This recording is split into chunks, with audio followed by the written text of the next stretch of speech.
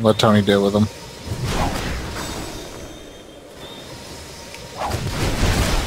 Oh Back god, up. Tony, what the fuck are you doing?